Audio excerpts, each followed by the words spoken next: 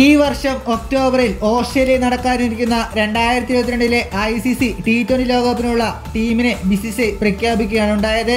ജസ്പ്രീത് ബുംറയും ഹർഷൽ പട്ടേലും ടീമിൽ തിരിച്ചെത്തിയപ്പോൾ പരിക്കേറ്റ രവീന്ദ്ര ജഡേജയ്ക്ക് പകരം അക്സർ പട്ടേൽ ടീമിൽ തിരിച്ചെത്തി. ദിനേഷ് കാർത്തികിന്റെയും ഋഷഭ് പന്തിന്റെയും പേരിൽ രണ്ട് വിക്കറ്റ് കീപ്പിംഗ് ഓപ്ഷനുമായിട്ടാണ് ഇന്ത്യ ഇറങ്ങുന്നത്. എന്നിരുന്നാലും സഞ്ജു സാംസണെ ടീമിലെടുക്കാത്തതിൽ ആരാധകർ വളരെ നിരാശരാണ്. ഇത്രയും മികച്ച ടി ട്വന്റി താരമുള്ളപ്പോൾ അവനെ ടീമിലെടുക്കാത്തത് മോശമായി പോയി എന്നാണ് ആരാധകരും ചോദിക്കുന്നത്.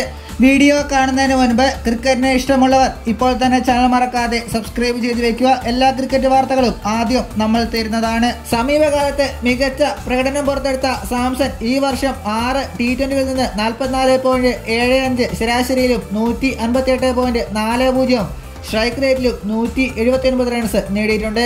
തുടർച്ചയായി തെരഞ്ഞെടുക്കപ്പെടാത്തതിന്റെ നിരാശ ആരാധകർ മറച്ചു വെക്കുന്നില്ല. ഐ പി എൽ രണ്ടായിരത്തി ഇരുപത്തിരണ്ടിൽ രാജസ്ഥാൻ റോയൽസിനൊപ്പം സാംസൺ മാന്യമായ ഇന്നിംഗ്സ് ആണ് കളിച്ചത്.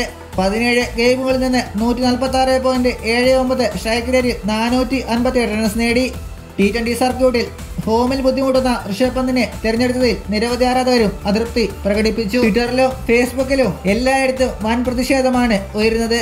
ട്വിറ്ററിൽ ട്രെൻഡിംഗ് ആയി മാറിക്കഴിഞ്ഞു. ഇതുപോലുള്ള പുതിയ വാർത്തകൾക്കായി ചാനൽ ഇപ്പോൾ തന്നെ മറക്കാതെ സബ്സ്ക്രൈബ് ചെയ്ത് വെക്കുക.